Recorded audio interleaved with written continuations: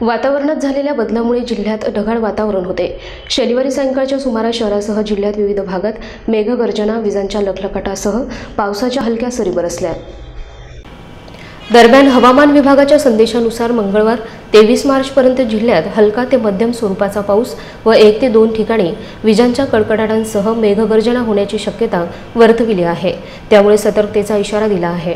मार्च महिन्याच्या दुसऱ्या आठवड्यापासून उन्हाचे चटके जाणवायला सुरुवात झाल्यानंतर पुन्हा वातावरणात बदल होऊन ढगाळ वातावरण तयार झाले आहे. मध्य महाराष्ट्रावर चक्राकार वारे असून पुढील काही दिवस जिल्ह्यात पावसाची शक्यता वर्तविण्यात येत आहे.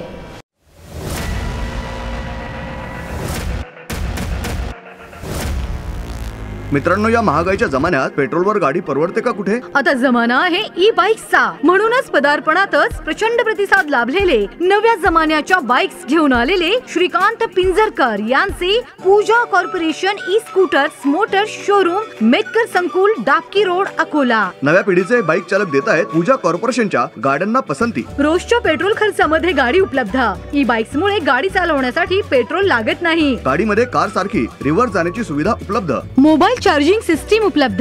फक्त एक ते दोन युनिट चार्जिंगमध्ये ऐंशी किलोमीटरचा मिळतो मायलेज ड्रायव्हिंग लायसन्सची गरज नाही. गाडीला आरटीओ रजिस्ट्रेशनची झंझट नाही. गाडीला फोर व्हीलर प्रमाणे रिमोट ऑपरेटिंग सिस्टीम एकदा अवश्य भेट द्या. अकोल्यातील मोठ्या इलेक्ट्रिक शोरूमला पेट्रोल गाडीपेक्षा निम्म्याहून कमी किमतीत. अवघ्या फक्त सत्तावन्न हजारांपासून ते एकसष्ट हजार रुपयांपर्यंत पाच विविध प्रकारचे मॉडेल उपलब्ध.